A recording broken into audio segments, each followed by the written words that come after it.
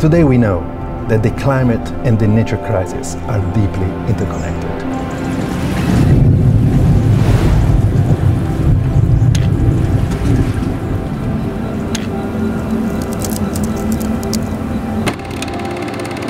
Yet they are often addressed independently, without considering either the impacts or the synergies.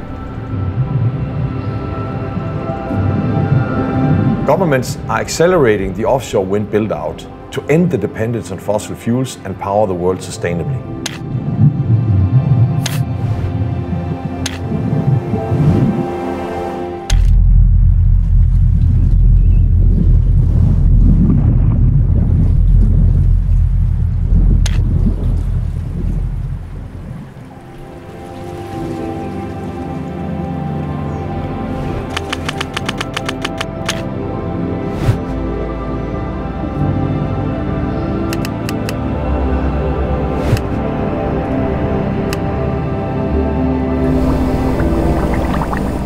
This is why this partnership is so important to developing offshore wind energy with a net positive impact on the ocean. It is ambitious, but it is absolutely necessary.